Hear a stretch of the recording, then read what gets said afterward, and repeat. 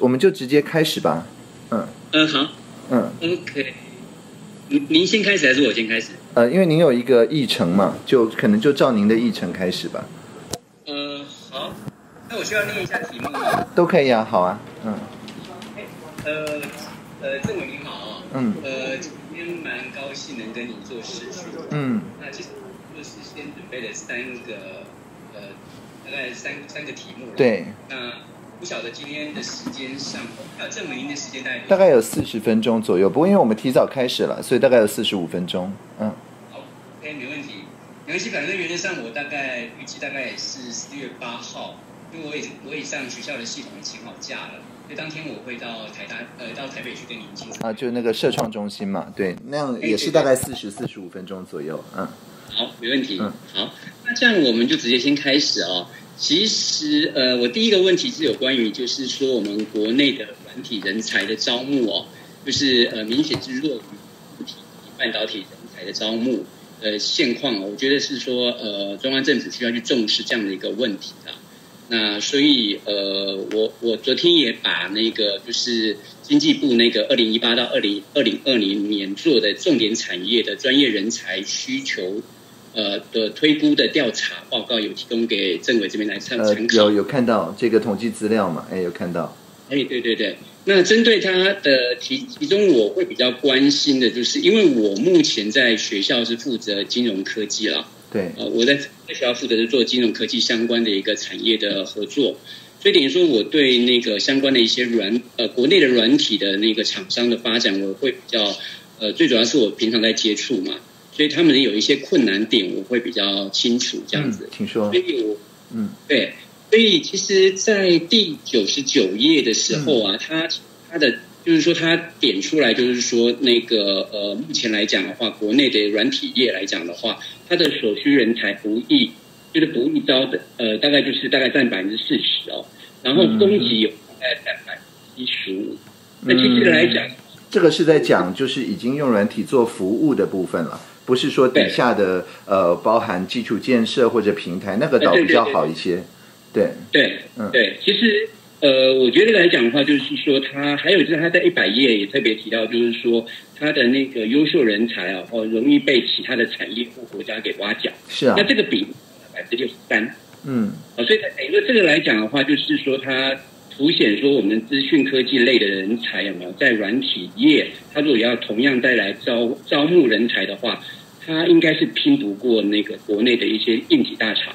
还有一些半导体的那个呃的的那个产业，其实这一块来讲的话，以我们清华大学啊，我们呃基本上来讲的话，就是以资电呃资讯工程啊，然后电机类的为主。那其实这个现象在我们学校尤其明显啊，因为我们学校旁边就是科学园区了。所以等于说，他们这些呃，就是职工啊，然后呃，电机毕业的人，他优先就是选择像类似台积电，那我们办公室也有一位就是软体开发的人员就被台积电挖走了，这个我完全了解。哦，OK OK，对，所以其实我觉得应该是说，呃，我们目前在呃在在在这个产业来讲的话，我觉得应该是说软硬并进了。哎，我个人的想法认为是要软硬并进，因为因为硬体跟半导体它已经呃已经在一个蓬勃发展的情况之下，我觉得就是以软体产业来讲的话，政府它应该要适时的一些来做关注哦，然后来做一些呃重点的提升这样子。我我觉得他们对这样把软体跟硬体一起拉上来的话，就比较不会偏一边嘛。呃，我觉得是不会偏一边这样。哎，所以那基本上来讲的话，就是说，呃，这个这个报告来讲的话，其实它在后面哦，一百零一页啊，它就是讲到，就是说它它就是会有百分之七十六是用既有的员工来做培训。就等于说他本来不会写程式的，让他会写一点对程对对式。对对。对，可是他来讲的话，就变成说他要花很多的时间来去，因为他变成说他的第一手是抢不过这些硬体的还有半导体业的大厂，他嗯嗯他哦，本来求其次从呃公司内部来做培训，然后那这些员工有百分之七十九了是在做，就是上这个所谓在职培训。是老师等于说他就花了很多的时间在在培育这个。那如果假设是说，哎，政府他能够来去把这个问题重视的话，那在第一，那他在第一关筛选人才的时候，他就他就他就已经可以让这些他想要的人人才他找到的话，他根本不需要花费这么大的力气跟时间去培训四家的人选。我我觉得有可能是次家或者是第第第三人选吧。哎，这点说，我觉得这份报告来讲的话，就是说它应该是四步点出说我们目前的整个软体业来讲的话，它的它因为面对所谓的跟半导体的这个呃呃国内啦，觉得国内来讲的话，就是大家都一面倒的都都想要去半导体的跟硬体硬体这样的产业，所以导致就是软体。就就就没有这个让大家觉得说，哎，他想要去那边做发展，对，所以我我会建议政委这边来讲的话，就是说，也许可能在一些政策上，或是说，我我觉得目前来讲的话，软体尤其它的抖重的重点在于人，那我们台湾人来讲的话，他薪不高，所以等于说，基本上我觉得在发展这个软体来讲的话的这样的重视的话，我觉得会让。国际看到台湾的产业，除了有硬体跟半导体之外，那还有软体产业。啊，那我觉得，呃，我希望政政委可以在这块上面可以有一些政策上面可以做一些啊。对，我想一百零四页其实已经点出了我们怎么解决这个的一个思路啊。因为呃，就像我说，被呃台积电挖走的那位朋友。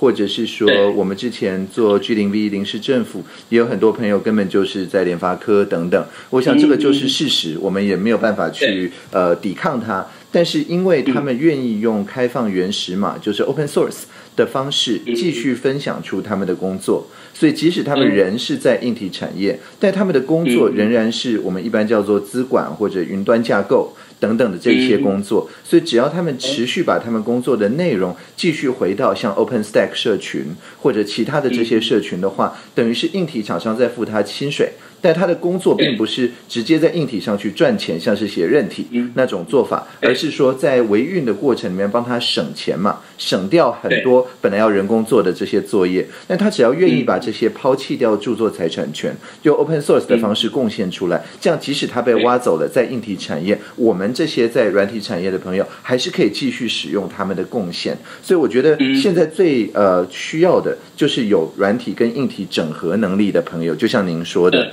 但是这些大概没有办法让一般的学生，如果你没有碰到一个真正大的软一体整合专案的话，他没有办法在脑里形成那个架构。如果你在学校解的是一些练习题的话，其实那个是没有什么用的。那我也很坦白讲，因为到业界你碰到的状况跟学校的练习题是不同的嘛。所以像呃有一个政策就是所谓的以战代训呢，以战斗代替训练，就是好比像说 AI 这个 Academy 嘛，就是人工智慧学校，他们的题目都不是练习题。都是实际的中小企业、硬体产业、生医产业，他们真的目前碰到的，不管品管的、自动化的等等的问题，他们抛出来变成这些学生的这些练习题。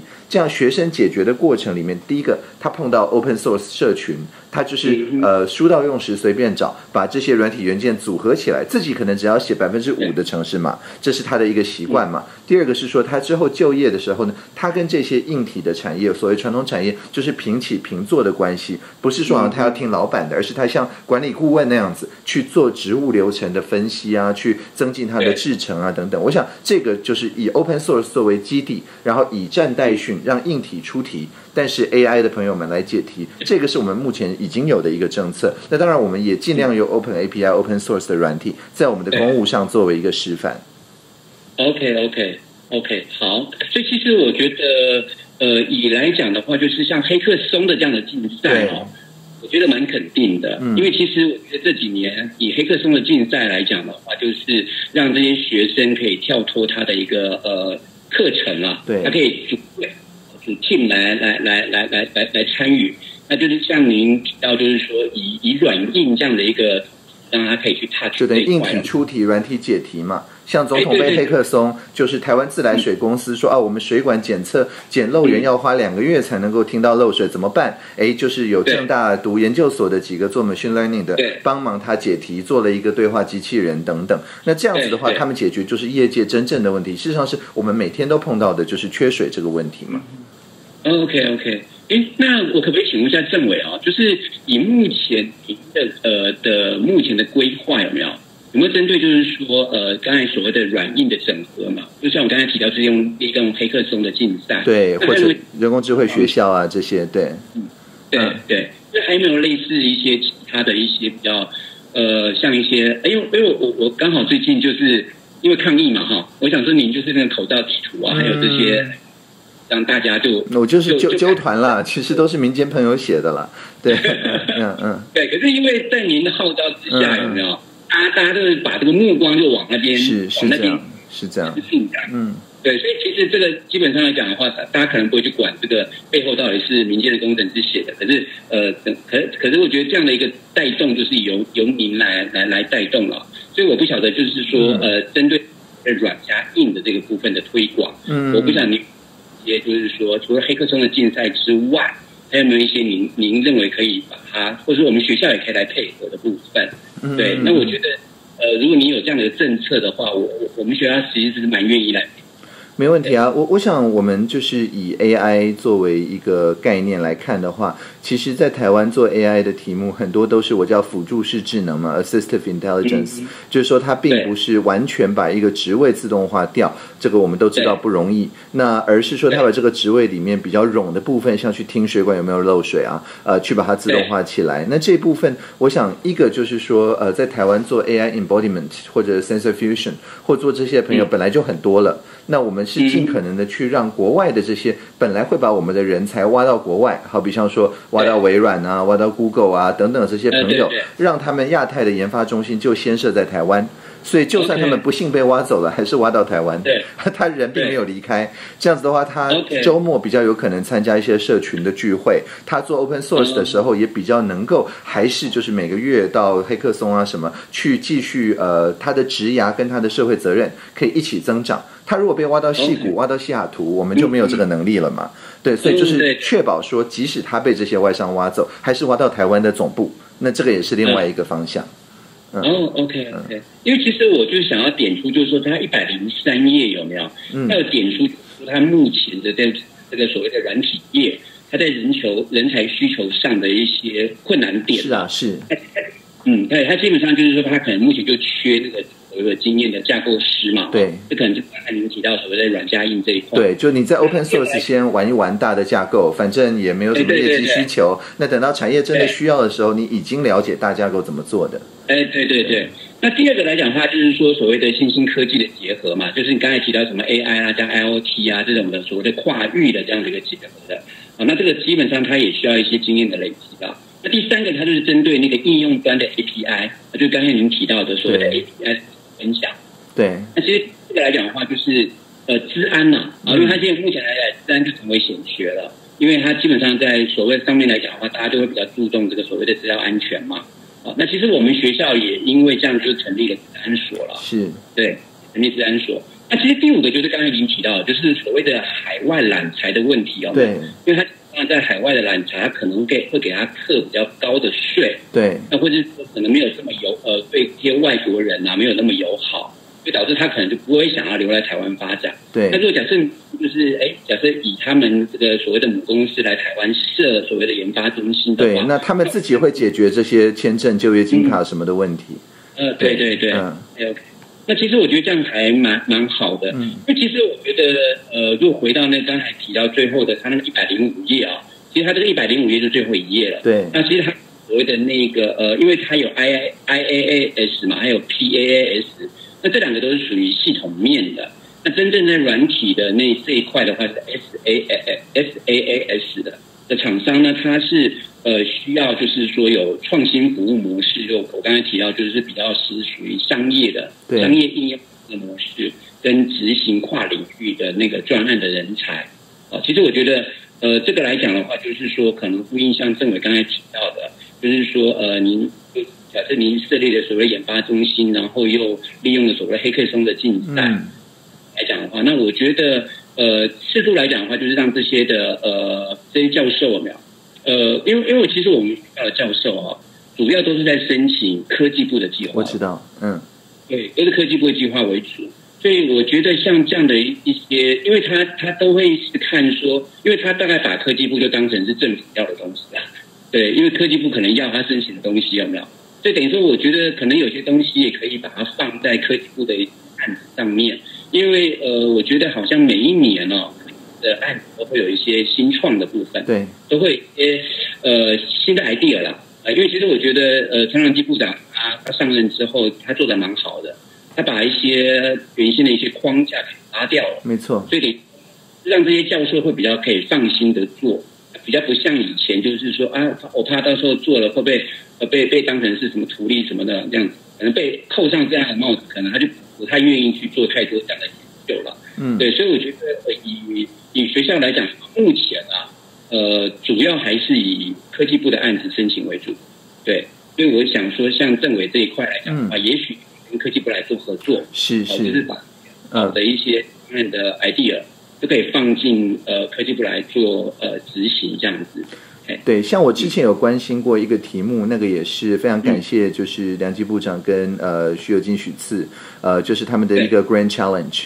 那 Grand Challenge 呃有两个嘛，一个是关于自然语言的识别跟呃认识，对对对对，对，那那个呢是很少见的，就是真的是开放式的哦，就是不管你最后有没有得名，甚至你不是竞赛者，这些语料库都完全公开出来，那让所有人能够使用。那这样子的话，因为我以前在苹果是跟 Siri Team 合作，我相当了解说，如果你没有一个在地的语言集的话，那就每个人都要开始卷着舌头说话了。那对我们的对。对我们的。发展像长照啊这些有在地不同口音的朋友们，其实呢最有利的方法就是把我们的所有的什么公式啊、公广啊、警广啊，所有这些在地口音的语料集都开放出来。那这个其实是很难得的，以前科技部是不这样做事的。那但是我们这个这次就是陈部长是非常愿意，那后来也是协调到所有人都可以取用。那更不要说另外一个 Grand Challenge，就是您刚刚讲的自安嘛，我们沙伦的自驾车呃测试场实际启用之前就邀请大家。来打啊！那我觉得这也是呃养成一个习惯，就是说不要怕说我们有一个试营运，试营运可能会被打下来。因为你在正式营运的时候才被打下来，那就很惨了。试营运的时候被打下来，你还有改的机会嘛？对，那也是公务文化的一个创新。所以我觉得我们跟科技部一直都合作很良好。那我们也运用像民生公共物联网，像他们国网的这个 IaaS 啊，其实这个也是呃，不是 Azure，也不是 AWS，不是这些国外的厂商，是国内的朋友们自己搭出来的一套 IaaS PaaS 系统。那我觉得这个也是对培育国内的人才非常有帮助。我们自己也每天都在用啊，国网的机器。嗯嗯，OK OK OK，好，其实我觉得基本上，呃，就第一个议题来讲的话，我大概呃，现在政委的一些互动，我觉得还蛮好的。是对，其实我觉得应该就是可能政委就是您这边呃有一些好的 idea，那我觉得基本上未来有需要我这边来做配合的，或者是说有需要我来跟学校做沟通的，我都非常愿意。谢谢老师，谢谢。嗯，对，我非常愿意担任这样的角色哈。OK，那我们接着进行第二题好了。嗯，哎，那第二题来讲的话，就是呃，就是只要是站在那个国呃国家安全跟那个资讯安全啊，那就是呃，可能就请政府这边跟各级政府有没有，就是要率先支持并采用国内优质软体业的产品。嗯，那其实这个部分来讲的话，就是。呃，因为因为我我其实呃，我我不瞒您说啊，我我我自己的使用习惯也是从赖开始。对，因为我们学校我们学校里面基本上都是用信件，哦，大家呃以教授啊，或者是说像我们在在跟教授互动，我们还是习惯用呃信件在做互动，因为因为信件来讲，他要追他要追踪啊，干嘛的话，对我也都是用 email，我公务绝对不用来的，嗯。嗯，对对对，那其实我觉得赖的风气应该就是柯文哲了。哎，我觉得应该是柯文哲几年前，他那个时候就是标榜说他用赖赖在赖赖在管控他的市府员工嘛。那所以等于说大家大家就有样学样哦。所以其实基本上我觉得柯文哲呃带动了赖的风气的使用了哈。我觉得应该是应该应该是他算是第一人了。那可是我觉得赖的公赖的公司，它毕竟是在韩国，所以等于说我们基本上已经把整个的台湾的一些呃相对一些呃机密啊什么这种日常讨论的事情，就已经搬到韩国去这样子。那其实我觉得呃，其实我我觉得一个大胆假设了，假设有一天假设大陆把把这个赖给收购了，那搞不好这个东西可能就整个都被大陆知道了，也也有可能啦。因为我在想说，为什么我们就不能用我们自己的一些国内的软体哦？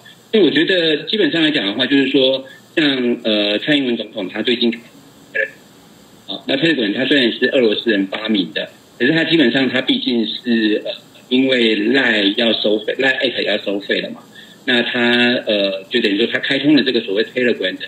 还有就是 Telegram 也是 Open Source 了，所以说你开发一些第三方的东西不需要付授权费，我想这是最大的一个差别。呃，对对对，嗯，对，其实我会觉得就是说，呃，因为如果假设我们呃政府或以所谓的那个国家安全啊，或是这个资讯安全的考量来讲的话，由中央政府来率先采用国内软体的这个这样的那个通讯软体，我不晓得呃政委您的您的想法。不，我想这分成两个，一个是对外的部分。就是你不怕人知道，只怕人不知道的部分。那那这个，我想总统的 Telegram 就是属于这种了。我想他也不会用他的就是那个 Telegram 推送账号，真的讨论什么国安机密啊，这是不是这样子的？它只是一个推送的一个管道而已。那这个比较像是呃，就是公共关系。那像这个小编，这个现在都。非常会啊，这个卫福部的那个总裁柴犬啊，在那个 Facebook 上面也是很活跃啊，等等啊，海巡署也很活跃啊。我我想那个就比较没有什么机密的问题，因为他们贴上去的东西都是只怕人不知道的。所以，所以那那是那是我我自己觉得，就是现在大家在用什么就用什么吧，这个是比较无所谓的。但是我们内部的讨论，我完全同意您的这个讨论。这也是为什么当初我上任的时候，我也问 Line 说：“哎，那你们说你们点对点加密啊？你们群组难道有点对点加密吗？”那他们就说：“哦，他们才刚改了，群组也变成点对点加密。那他们也没有储存。那我说：那你们到底存什么呢？哦，存的是贴图啊，用什么贴图他们都知道，之类，因为他们卖这个嘛。那 好，那 但我觉得贴图多少也是会泄露一些事情，所以我并没有很满意这个答案。”所以我自己 我自己公务是绝对不用赖我我们自己呃，其实我一进来就自己架了一套系统，叫做 Sandstorm，呃，就是中文叫做沙聚云哦，沙子聚合的云。那它里面就包含，好比像说呃多人的试算表，那那个试算表叫 EtherCalc，那个就是等于我写的啦。那然后呃也有类似共笔的系统，有一个叫做呃 HackMD。那 HackMD 也是国内的团队所开发的，所以可以说是我们是用 Sandstorm 这套资安架构在里面跑很多 Open Source 的系统。那它实体是跑在中华电信一个专门给政府就是 GSN 嘛，就是政府内部网络所使用的政府云上。那任何的包含地方政府、中央政府，只要你的 email 的结尾是 gov 点 tw，你都可以直接用我们这套 Sandstorm 系统啊。它在 EY 就是行政院嘛，EY。点 pdis 点 tw，所以我们也有在台北市政府啊，在其他地方有办过一些教育训练。那就是说，如果你呃想要一个群组合作的软体，但是你不想要付 Google 或微软的这个授权费，那我们这边有一套纯 Open Source，里面很多部分是国内的朋友开发，那治安处也检证过没有问题的东西可以使用。那像里面的聊天软体叫 Rocket Chat，那它就跟 Slack 长得一模一样。你如果用过 Slack，你就会用 Rocket Chat。那它里的面的 Rocket Chat 呢，也有视讯的功能。那那个视讯功能就叫做 Jitsi，J I T S I。那这个呢，也是我们直接像现在是加在国网的伺服器上面，所以它的资料流不但不存档，而且那个流也绝对就是流到国网再出来，或者流到中华电信的政府专用机房再出来，所以它的路由也不会到国外。那这个就是相对来讲，我觉得自然上比较可靠。那整套 Sandstorm 我们也请包含 DevCore 啊这些白帽骇客都已经打过，都已经发过三个 CVE 了，可以算是比较安全的。哦，OK OK OK，哎，所以您的这一块来讲的话，就是有别于我们目前呃所谓的，嗯，所以您上面的通讯啊，像因为我国内的通讯的那个软体，就像酷比啦、Juke 啦。或者像那个，对，我们是用全 open source，因为这样子我碰到问题我就可以自己改。如果我碰到训练的问题或 Juker 的问题，我还要等厂商。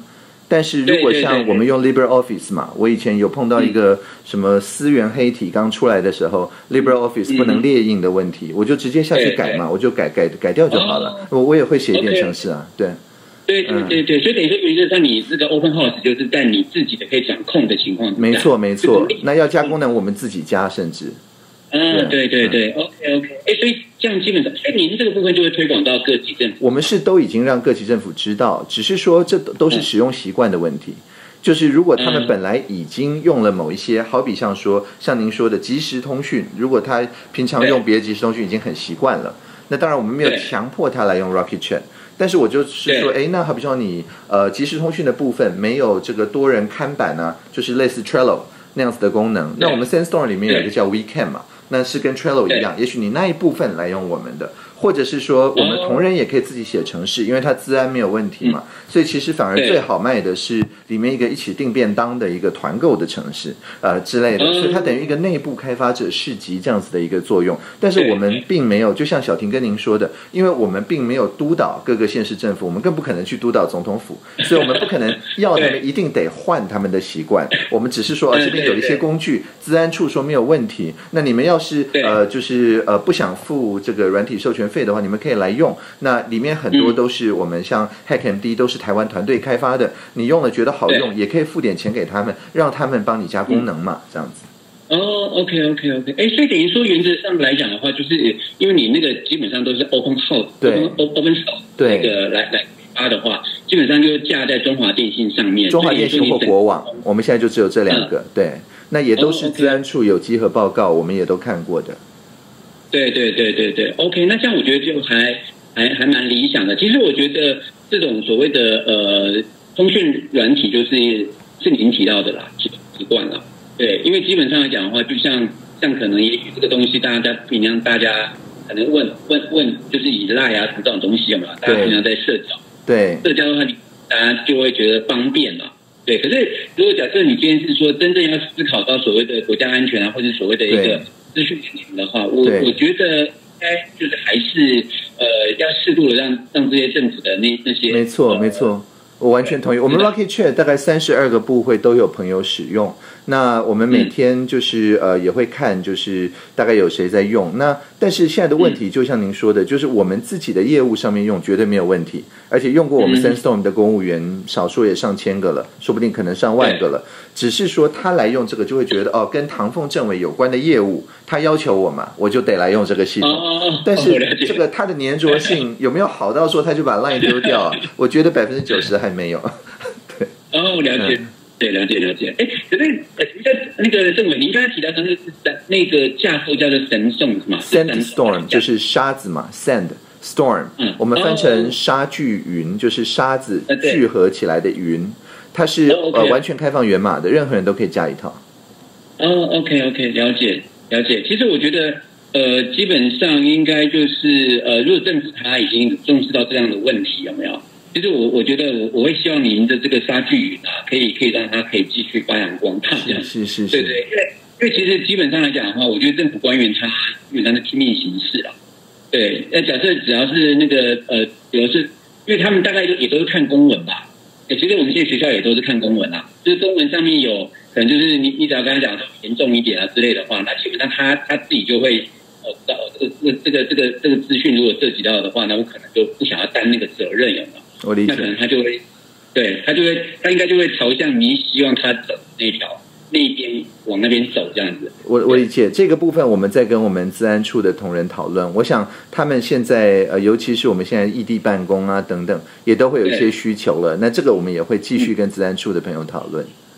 哦，OK OK，现在是一个很好的时机了，因为以前大家跑公文还是实体跑了，那实体跑你你没有办法说服他改成用线上。对对对，那现在因为防疫的需求，所以异地办公、视讯会议、电子工人们突然变得很很就是这样子，我们讲话还比较清楚，我们见面反而还要戴口罩，你还看不到表情，所以这些都变得非常的非常的热门，所以我想我们也会持续检讨，嗯。好，那我再请教一下，就是针对那刚才那个所谓的那个异地办公有没有？对，那可能就是比如说像那个所谓的远端办公啊，或是远端视讯啊，或者远端会议有没有？那那您针对这一部分，你们呃呃政府采用的系统是用用用哪？对，就像我说的，我们刚才是用 Rocket Chat 里面的 GC 嘛。对，那所以其实这个其实如果您现在有好比说 Chrome 浏览器的话。我们也可以，我们也可以试着就直接用我们的那一个云端系统来来呃，就是试试看，比起 训练的系统 感感觉怎么样了？对啊，对啊，OK，对，那我就用 email 把网址贴给您，然后您试试看连上来，那我们我们就等于做一个 A B 测试吧，是这样子讲的吧？好，没问题。好啊，它其实网址就是呃，我我 email 给您，但其实它很好记，meet m e e t 啊，点 p d i s 点 t w。那不过没关系，我现在寄给您。好，呃，我看一下哦。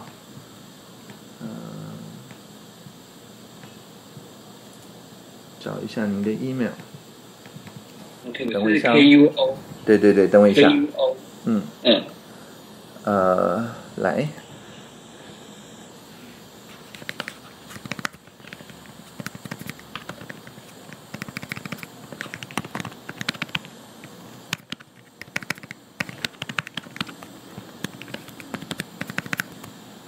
好，我有寄给您了。哦，这样子好。啊，您看一下有没有收到。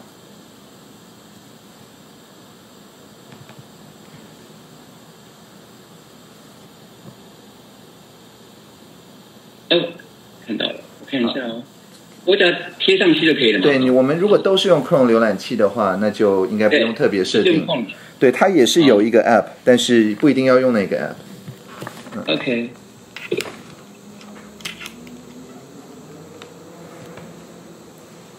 哦。哎，有有看到您了。哎。哦，所以它是直接切过来啊。对对，它就是完全纯浏览器的。哦，对，它是呃，就全版面嘛。对对对对，那在这边就是同样的，也是有这个聊天啊，或者是呃有一个什么举手啊、发问啊，甚至直播啊，反正就是很完整。那它因为是开放原始码，所以反正需要什么功能，我们就就自己加这样子。哦，OK OK。哎，蛮还蛮好的，蛮清楚的。对啊，对啊，那包含就是有一些呃比较特效的功能，像我刚刚开了说凸显我的脸，把背景模糊掉啊，等等的 这些功能。这个这个，嗯，这个在优优惠仪也有。对对对，优惠仪也有。对，所以我们目前大概就是用这个，这已经就是等于整合到我们的工作流程里面。哦，OK OK，对，因为其实我会接触会议是因为。呃，台大了，对，对，因为我我我有几个老师在台大听课，那他们台大是采用文书嘛，对，所以所以其实我的那个一通是因为我那个教授就叫我下去用看看，对，我才我才我才一下子。了解了解，嗯。嗯，OK，好，这还蛮不错的，还蛮不错的，对，那我就把这个，那你不讲说这个是所谓的 G。G C 它完全是开放原始码，那它就是架在我们在国网的机器上，所以我们刚刚是这样子对谈，它本身不会留记录，因为我就是网管了，也没有别人有密码了。然后第二个就是说，呃，它的呃路由它不会经过别的，它就是会保持在台湾里面，所以我们就是聊聊一些资讯，比较不用担心您刚刚讲的说，哎，有些人就是存档，存档之后以后被诟病了怎么办呢？等等这些问题，这样。嗯嗯，OK。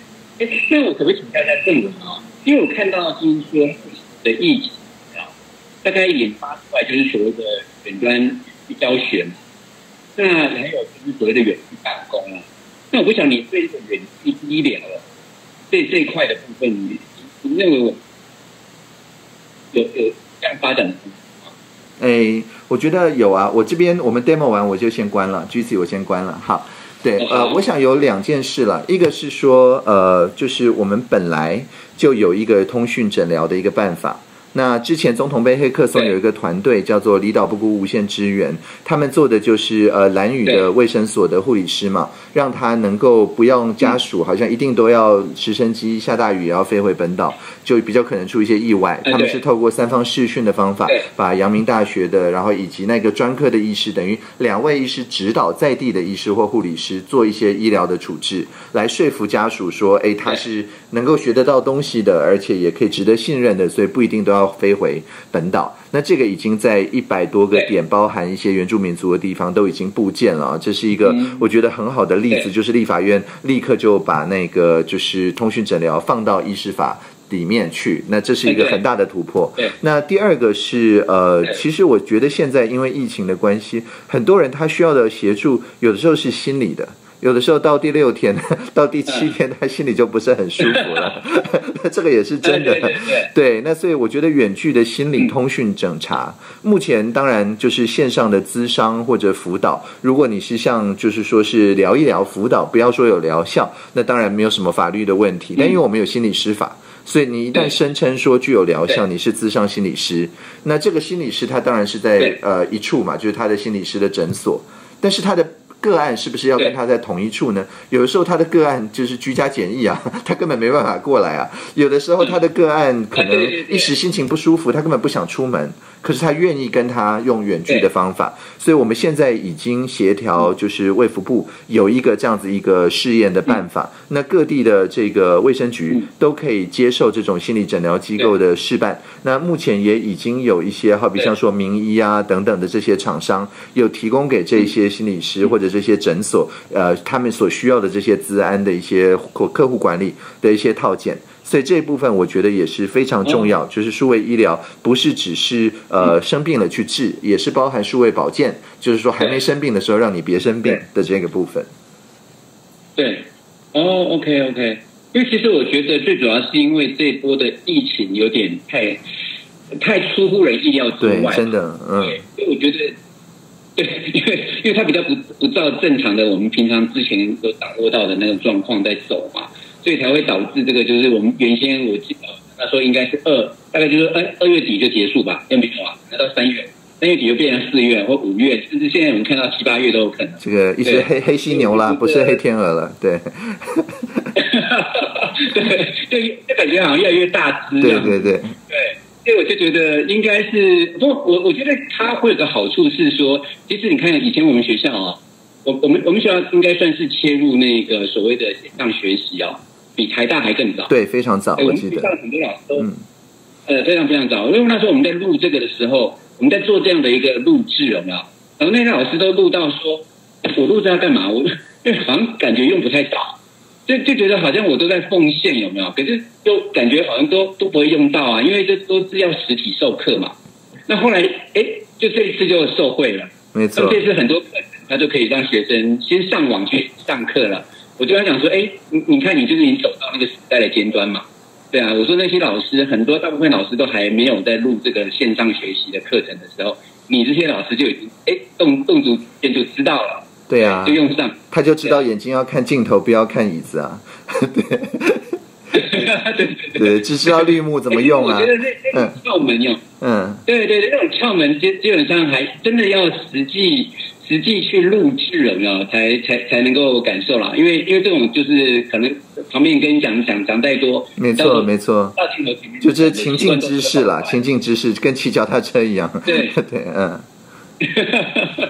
对没错没错。所以所以刚才就是讲，是像您提到的所谓的呃远距医疗这一块，我觉得如果也能够利用这次的疫情，然后让它可以更完整的发展下去的话。我我觉得我觉得也还不错，因为我原先是担心说我们台湾厂太小，对，因为台湾厂太小，感觉对，就是就是这种东西，呃，其实好像就没有这么必要，就像国外嘛，因为国外它地方大嘛。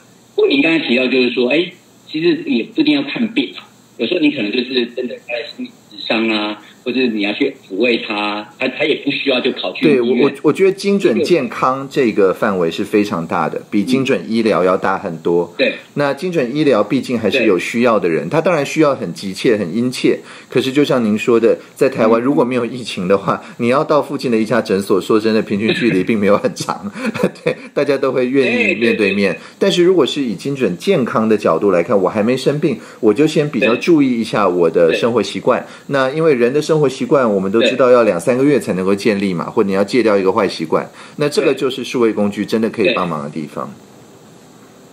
OK OK，对，其实我觉得应该是这次卫福部，我觉得他们这个防疫真的做的很好，而且防疫，因为我那反应非常快，对，嗯，对，反应非常快。然后呃，我觉得基本上，因为这个就展现那个政府效能嘛，嗯，对，其实我觉得他防疫大概。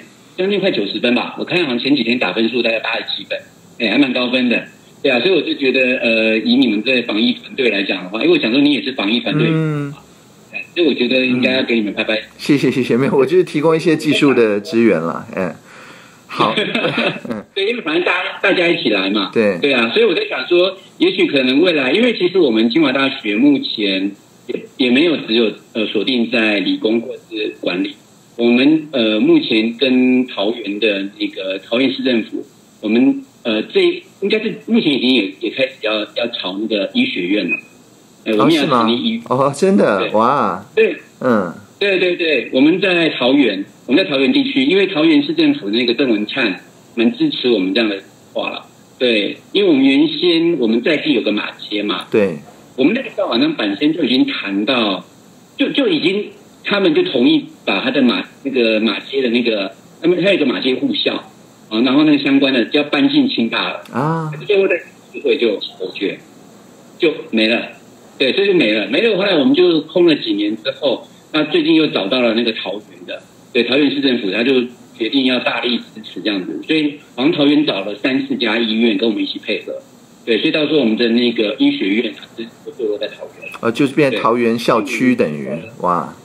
OK，哎，对，桃园校区，桃园校区，那基本上我们学校其实，在呃，生医呀，还有在那个生科方面，因为我们这这几个系在我们学校都还蛮夯的，对，所以我们以以那个，我们就只差还没有接入那个医学系这样，对，所以我想说，未来如果假设政府相关有一些需要我们学校来做配合的，哦其实我蛮蛮愿意来担任联络这样。好啊，没问题。那我们今天就差不多，我们就接下来就是在社创中心，呃，我们就实体见面了。好，好啊。那那今天录影，你你你不你不反对的话，我觉得蛮有教学意义啊，我就 PO 到 YouTube 上，这样好。OK，没问题。那谢谢老师，那我们就社创见。那我们就四月八号早上见。好，OK，拜拜。谢谢，拜拜。